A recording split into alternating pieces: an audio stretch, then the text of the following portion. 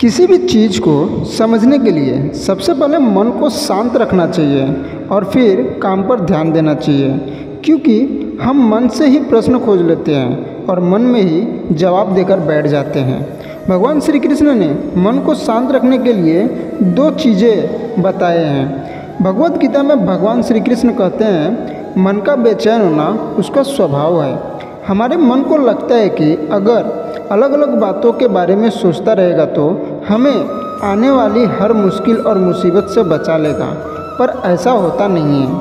हम अपने जीवन का काफ़ी अधिक समय सोच विचार करके परेशान होने में निकाल देते हैं। भगवान श्री कृष्ण कहते हैं कि मन का यह स्वभाव बदलना मुश्किल ज़रूर है। असंभव बिल्कुल भी नहीं। क्या आप कौवे को कह सकते हैं कि वो काँव काँव की आवाज़ ना करें? या फिर, क्या आप किसी मेंढक को कह सकते हैं कि वह पानी देखते ही ऊँची छलांग न मारे? हमारे मन का भी कुछ ऐसा ही हाल है। जीवन में कुछ भी होता है अच्छा या बुरा, हमारा मन उस पर काँव काँव करने लगता है। काँव काँव से मेरा मतलब है चिंता करना, व्याकुल होना। कोई बुरी बात होती भी नहीं। और मन परेशानी की ऊँची ऊँची लपटें लेने लगता है।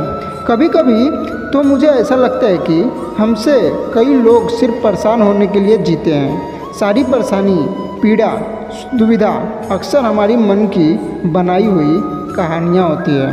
भगवान श्री कृष्ण हमें, हमारे मन को शांत और स्थिर करने के लिए दो उपाय देते हैं। पहला, ध्यान लगाना या मेडिटेशन करना। दूसरा वैराग्य भाव सीखना। अब ध्यान या मेडिटेशन शब्द सुनते ही आप में से कई लोग कहेंगे कि आप आँख बंद कर साँसें अंदर बाहर नहीं ले सकते। यहाँ हम सब गलती कर बैठते हैं। मेडिटेशन या ध्यान का मतलब सिर्फ़ आँख बंद कर बैठना नहीं होता है। मेडिटेशन का मतलब होता है अपना पूरा ध्यान किसी चीज़ पर लगाना और उसे हटने नहीं देना।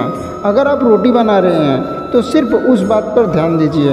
अगर आप पिक्चर देख रहे हैं तो अपना पूरा ध्यान पिक्चर पर लगाएँ। यह मत सोचिए कि पिक्चर देखकर आपका अपना कितना समय बर्बाद कर रहे हैं। जब आप जीवन के हर छोटे बड़े काम को पूरे ध्यान से करते हैं तो आपका जीवन ही एक मेडिटेशन बन जाता है। ऐसे जीवन में शांति, स्थिरता, साहस और सफलता का होना अनिवार्य है। वैराग्य भाव दूसरा उपाय है। वैराग्य का अर्थ यह नहीं है कि आप सब कुछ छोड़कर जंगल में जाकर बैठ जाएँ। वैराग्य का सच्चा अर्थ है कि आप जो काम कर रहे हैं, उसका क्या नतीजा या रिज़ल्ट निकलेगा? उसकी चिंता न करें। जैसे अगर आपने कोई इंटरव्यू दिया है, आप यह कर सकते हैं कि पूरे मन से तैयारी करें और अपना बेस्ट देकर आएँ। वह नौकरी मिलना या ना मिलना आपके हाथ में नहीं है। इस नतीजे के पीछे अलग अलग चीज़ें हैं, जो आपके बिल्कुल कंट्रोल में नहीं है।